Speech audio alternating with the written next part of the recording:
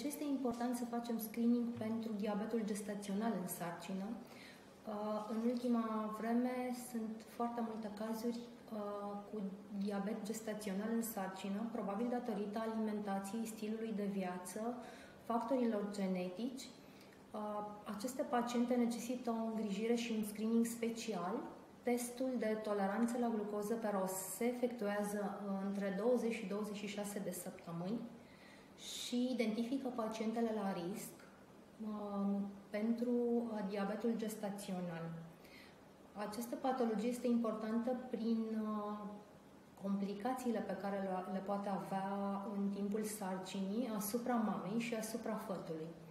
După ce identificăm aceste paciente, ele sunt referite la medicul uh, diabetolog, unde vor avea un uh, scan general pentru analize de sânge și pentru uh, terapie uh, specifică, pentru tratament specific, nu numai nutrițional, în funcție de uh, gradul de uh, răspundere al pacientei la tratament, uh, vom lua atitudine ulterioară. Copiii acestor paciente uh, cu diabet gestațional uh, au un risc Uh, aparte și trebuie foarte bine urmăriți, în special în ultima perioadă de sarcină. Trebuie să fim pregătiți oricând pentru a lua atitudinea terapeutică uh, eficientă și pentru a salva la timp acești copii.